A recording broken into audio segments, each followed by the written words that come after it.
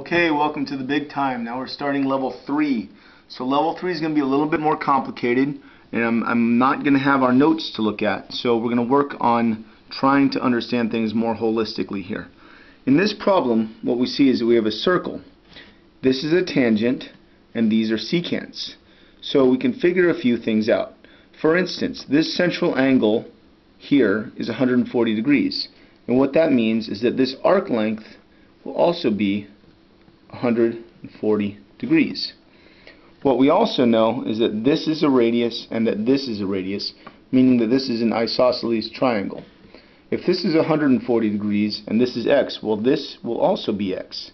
And if we have two x's, then 2x plus 140 equals 180. Therefore, 2x equals 40, therefore x equals 20.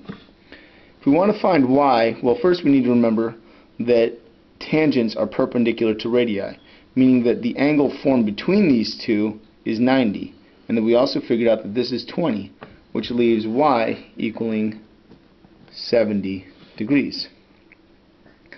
Lastly we have the secant aspect here. We know that this arc is 140 degrees and that this one is 20. We can use this to find z because remember z is the angle formed by intersecting secants. So we can subtract the big angle, the big arc, minus the smaller arc. So 140 minus 20 is 120. Z is going to be half of that. So Z is going to be 120 divided by 2 or 60 degrees. Okay, so that's it for number one. Number two is distinctly different. Number two says if AB equals 5. Well, let's draw that in here. That tells us that the radius of this circle is 5.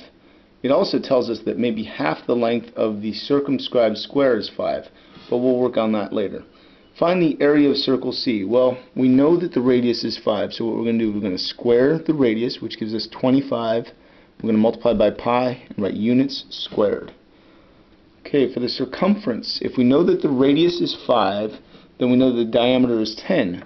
So the diameter times pi will be the circumference, so the answer will be 10 pi. Okay, now we know that. So now it says to find the area of square BCDE. Well, what we're going to do is we're going to take the original 25 pi, and what we're going to do is we're going to divide by pi and multiply by 2. So 25 pi divided by pi is 25. When we multiply by 2, it makes 50. So the area of this square over here will be 50 units squared. It now asks us to find BC, which is the side length. So what we're going to do, we know that square is base times height. So in other words, it's the square root of the area will get us the uh, side length. So if this times this makes 50, then the answer will be the square root of 50. So let's work this out. With the square root of 50, we're going to look for a perfect square. So we'll look for 25 times the square root of 2. The square root of 25 is 5, so BC will be 5 square root of 2. And of course the perimeter of the square will be 4 times any side length. So BCDE will be 4 times 5 square root of 2. 4 times 5 is 20, so the answer is 20 square root of 2. Okay, last, finding the area of square FGHI. Well, we're going to go back to the square, or sorry, the area of the circle. The area of the circle was 25 pi units squared. So the big square is going to be 4 over pi. And what that means is we replace the pi with a 4. So when we divide by pi, we get 25. When we multiply by 4, we get 100. So the area will be 100 units squared. When it asks for FG, that means this segment here. So if this is FG, we, we remind ourselves that it has to be base times height. So if the area was 100, we take the square root of 100, which is easy, it's 10, therefore FG is 10.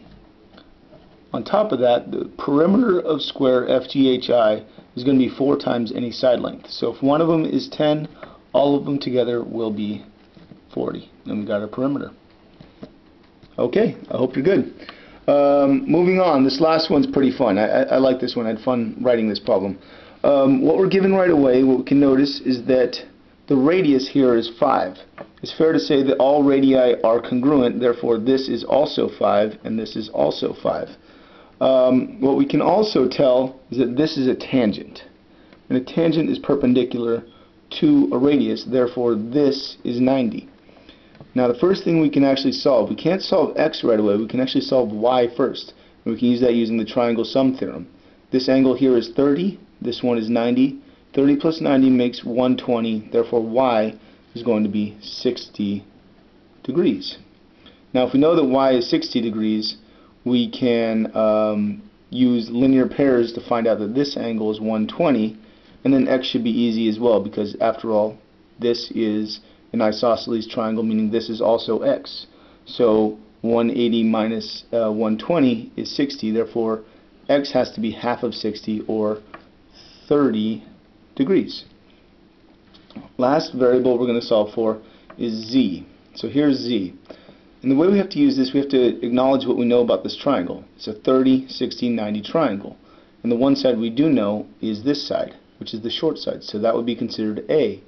Z would be considered the B of the 30, 60, 90. Therefore is A times the square root of 3. So if A is 5, Z is 5 square root of 3. Okay, that about does it for these problems. Um, watch it a couple of times and I think you'll catch on. These are all familiar um, familiar concepts and I think you can catch on with multiple viewings. Thanks a lot.